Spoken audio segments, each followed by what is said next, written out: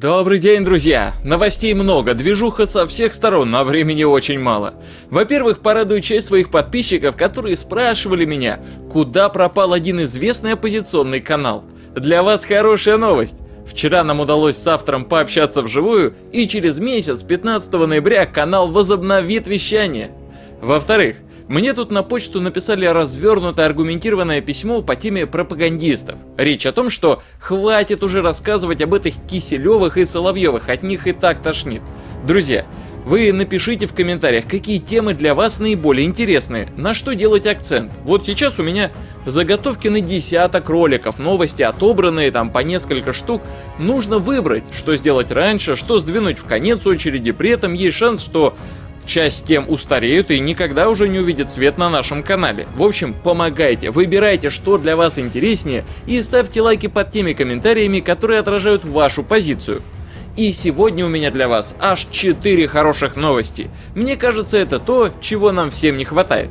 В Самарской области суд отменил установленный Министерством ЖКХ мусорный тариф. Ребята, они отменили нереальный мусорный тариф в своем регионе. В этом деле большую роль сыграла работа КПРФ, за это получают плюсик.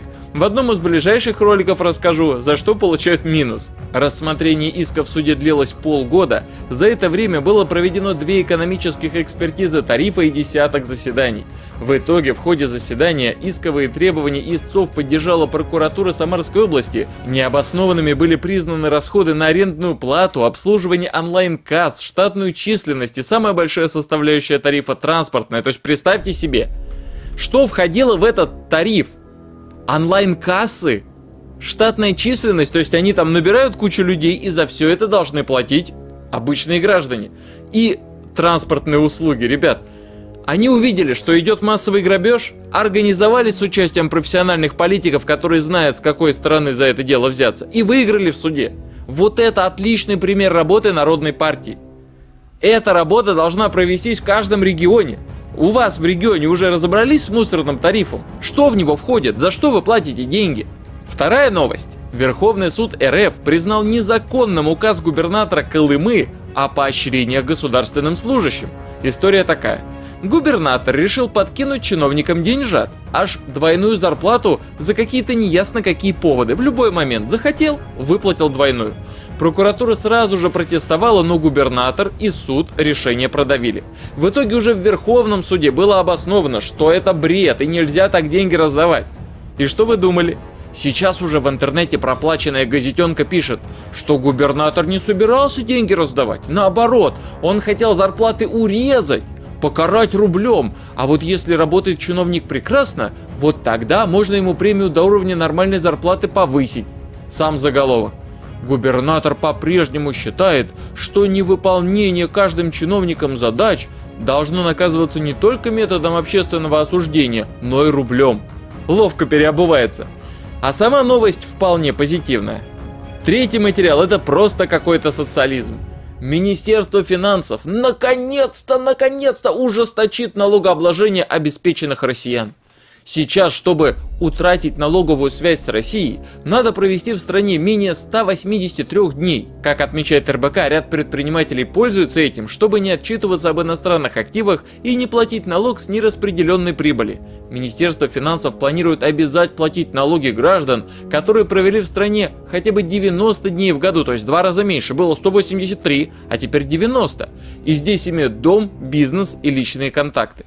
То есть, теперь от налогов богатым будет сложнее бегать. Провел в России не полгода, а хотя бы три месяца. Значит, платишь налоги тут, отчитываешься о своих активах зарубежных. И да, в этом наконец-то есть социальная справедливость. И если правительство решило делать из людей новую нефть, выжимать деньги, доить, так пусть страдают не только бедные, но и богатые.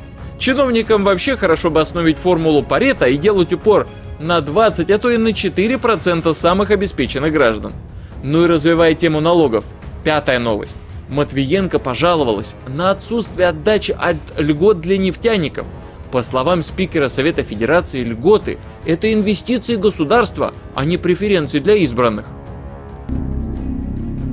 Что касается налоговых льгот, то они должны применяться только тогда, когда они дадут реальную отдачу.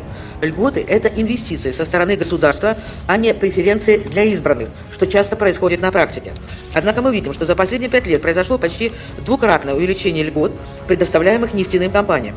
При этом нет ни сопоставимого прироста инвестиций, ни ощутимого снижения зависимости отрасли от поставок импортного оборудования. С другой стороны, не всегда потенциальные налоговые стимулы используются на практике, такие, например, как инвестиционный налоговый вычет. Министерство финансов ну, на практике блокирует эту возможность для небогатых регионов, и инвестиции перетекают к более успешным соседям. А что же делать дотационным регионам? Нужно подумать, как сделать этот полезный стимулирующий механизм более универсальным и доступным для всех субъектов федерации. Прикол в том, что она на самом деле это не просто так сказала. Идею подал сенатор от Хакасии, который высказался именно в этом же смысле. Длинное, но очень интересное выступление. Наслаждайтесь. Хочу, чтобы как можно больше высказались с мест людей. Пожалуйста, представьтесь. Да, пожалуйста, вам слово. Штыгашев Владимир, председатель Верховного Совета Республики Хакасия. Мордовия, Кострома и Хакасия уже звучит во всех залах. В Думе здесь уже года три и Антон Германович выступает, и все остальные товарищи, замы там, и помы, и министры, все остальные. Хватит уже позорить эти субъекты. Остановитесь. Но остановитесь. Вот счетная палата сегодня их назвала, там еще кто-то называет. Я напомню, что в Хакасии добывается доходов 250 миллиардов рублей. Бюджет собственных доходов 21 миллиард. Не потому, что мы не имеем ПСБ, мы не имеем госналог службы, мы ничего не имеем. Если хотите, чтобы мы самостоятельно это осуществили, это мы можем сделать, но это тогда будет другое дело. Это будет анархия в стране. Поэтому надо всем органам, которые этим занимаются, заняться серьезно. Я просто напомню, чтобы понимаете, почему это уже достало все. Саяно-Шушинская ГЭС – вырабатывает электроэнергии как 22 Днепрогэса. 22 Днепрогэса нам больше бы ничего не дало, прокормили, развили бы всю Хакасию. А он платит налогов меньше, чем маленький пивзаводик. А поскольку КГН, кто эту придумал аббревиатуру? Консолидированные группы налогоплательщиков. Каким законом она определяется сегодня в стране? Придумали – либо их ставят в офшорах этих КГН, либо здесь, в центре где-то, или там, где нужно было. Надо это все остановить, иначе мы бы еще долго. Второе. У нас есть угольные компании. Они добывают около 30 миллионов тонн угля. Это второй регион после Кузбасса. Понимаете? Оплатят налогов, опять же, на прибыль меньше, чем пивзавод. Они добывают и все продают за рубеж и оставляют лунный ландшафт. Поэтому самое главное, с помощью федеральных законов они уходят от налогов. Я уже говорил два года назад. К сожалению, ну, пальцем не пошевелил никто. Ни федеральное собрание в лице двух палат, ни правительство Российской Федерации. Я направил все документы, рассказал, как приняли незаконно, в кавычках, эти законы и как они действуют. И сегодня многие компании уклоняются от уплаты налога, самого главного, налога на прибыль. А все остальное это слезы Ярославны на китайской стене. Знаете, о чем ведь? Мы добываем денег в 10 раз больше, чем наш бюджет. Но мы их не получаем. Заставить, спасибо, заставить мы не можем. Поэтому еще раз, считайте это моим официальным заявлением во все органы, кто должен заниматься. Обещали помощь и госналог, служба, и ФСБ, и все остальные. Вот бабку Степаниду, которая без лицензии семечки продает, и войска поднимут, и бронежилеты оденут, и все поднимут. А этих мошенников, которые уводят, Россию грабят, не на миллиарды рублей, на десятки. Хакасию на 10-15 миллиардов в год. Владимир Николаевич, очень правильно подняли вот, вопросы мы договоримся с Антон Германовичем, он даст персональное поручение федера... Послушайте меня теперь, он даст поручение... Ну... Включите микрофон. Мордовии, Костромской области и Хакасии. Позорище, если у них государственный долг свыше там 100% их собственных доходных частей бюджета. Определиться надо. Ну хватит из года вы в год. Вы вас услышали, вы повторяете. Пожалуйста, запишите. Владимир Николаевич. В рекомендации. Спасибо вам большое Иначе- за выступление. Владимир Николаевич, ну научитесь еще кого-то слушать, ладно? Спасибо. Спасибо вам за выступление. Будет поручение Федеральной налоговой службе специально разобраться, что происходит с налогами в Республике Хакасия. И если ваша информация подтвердится, будут приняты соответствующие меры. Вопросы вы подняли правильные принимаются. В наших рекомендациях они найдут отражение. У нас э, Сатин Дмитрий Станиславович есть у нас? Где он у нас? Поднимитесь, пожалуйста. Да, встаньте, что вас тоже увидели. Это заместитель руководителя Федеральной налоговой службы. Вот мы вас назва- назначаем лично, Ми- Мишустину, глубоко уважаемому, мной доложите, лично за ситуацию в Хакасии. Разберитесь. Потому что делать такие голословные заявления, что там все мошенниками, мошенники, это неправильно.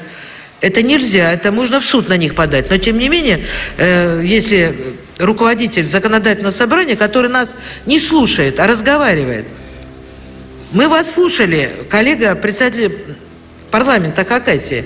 Я говорю о Хакасии, вы разговариваете, сидите. Так вот, пожалуйста, с выездом на место проверить все, либо э, поправить э, э, председателя парламента, либо навести порядок для увеличения налоговой базы Республики Хакасия. А на это у меня все. Друзья, надо держаться вместе. Вместе мы сила. Подписывайтесь, ставьте лайки, делайте репосты. Ваша активность помогает распространить правду. По возможности поддерживайте нас донатами. Жду ваших комментариев и до встречи уже завтра. Пока.